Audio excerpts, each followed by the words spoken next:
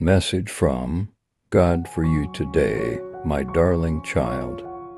Throughout the day I have spent with you, I hope you have felt my care and protection, even in the less obvious paths of your life.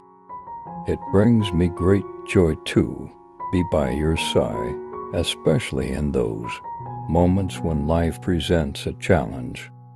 I ask that you keep your focus on me and trust in my love because I want the best for you if you do.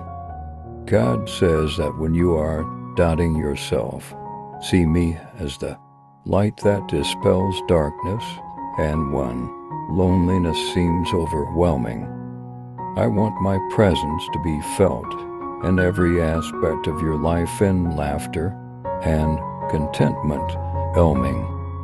Know that I also smile at the successes I celebrate with you, and in difficult times hold tightly to my hand, because I am the strength that propels you forward.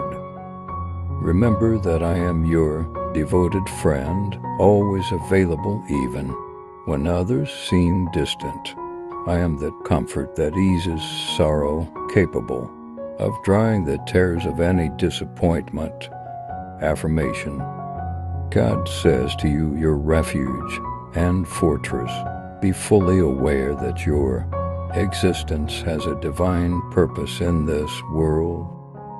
Believe in the life plan I have designed for you, for it is a plan full of affection and crafted for your best. Leave your fears and anxieties with me I will take care of them all if you believe, declare I surrender to your will with faith. Please let me know if you agree. God's message reminds us I, man, will always be with you.